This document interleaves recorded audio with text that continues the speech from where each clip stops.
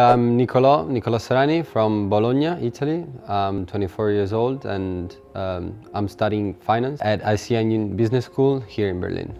Alors, je m'appelle Léonie Villette et je suis donc là en Master 2, donc PGE 3 et euh, MSc, donc euh, Master of Science Brand et Marketing Management à ICN sur le campus de Berlin. Bonjour, je m'appelle Adrien, je suis étudiant en finance et risk management à ICN Berlin. Euh, J'ai fait une prépa au Mans à Touchard, Washington et euh, j'aime beaucoup la vie ici à Berlin. My name is Malaika Sajad and I am from Pakistan and I'm doing my master's in marketing and brand management at ICN Berlin. Je m'appelle Yusra Sabor, je fais une prépa ECS à Orléans. Ensuite, j'ai intégré le programme Grande École à ICN Business School. Actuellement, je suis en Master 2 en Finance and Risk Management à Berlin. Okay, my name is Ellie, I'm 23, I'm from Ireland and I'm here living in Berlin doing the uh, ICN uh, Triple Masters. Alors, euh, je m'appelle Léo Héran, euh, je vis en France et en Alsace et euh, je suis à ICN Business School et j'étudie en Master 2 euh, Marketing et Brand Management.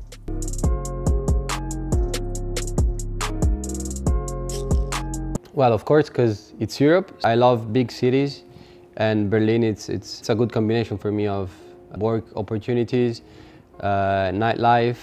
I think it's a good option for me, for what I like to do and what I would like to do in the future.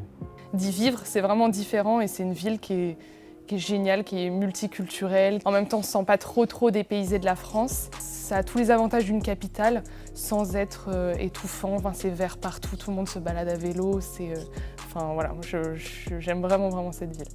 I think when I first came, I had this cultural shock and the city was very different and the people were different. But throughout these six years, I have seen like an increased amount of like foreigners here. The way like now they interact with people. First it was all German, you have to speak German and everything. And now I see a lot of more like international people and the appreciation towards the English language.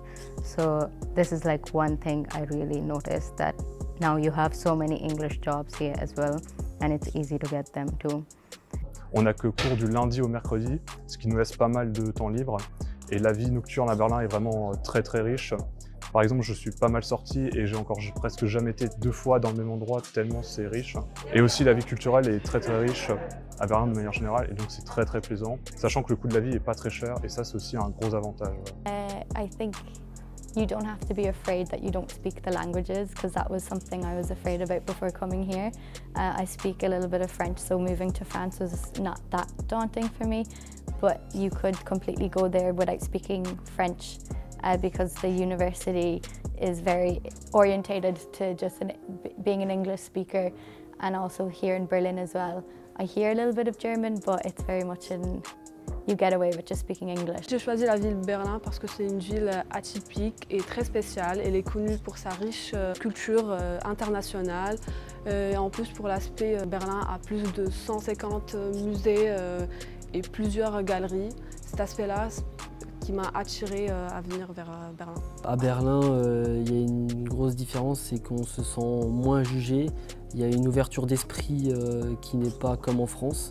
Personne n'est jugé, quel que soit euh, d'où il vient ou, euh, sa, tenue vestimentaire. C'est euh, aucun jugement et c'est vraiment quelque chose que j'ai apprécié.